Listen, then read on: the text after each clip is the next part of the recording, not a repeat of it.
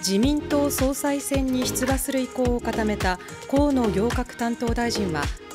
原子力発電所の再稼働を容認する考えを示しました。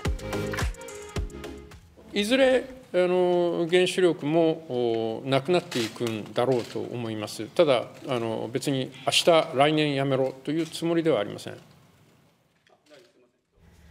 河野氏はこれまで脱原発を主張してきましたが、安全が確認された原子力発電所を再稼働することは、カーボンニュートラルを目指す上である程度必要だと述べました。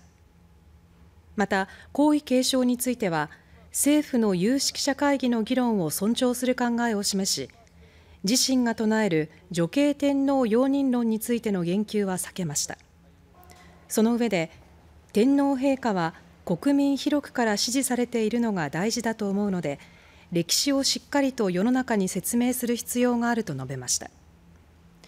党内からは河野氏が脱原発や女系天皇容認論を述べていたことに警戒感が広がっていたため政府・与党のこれまでの政策と整合性を図った格好です。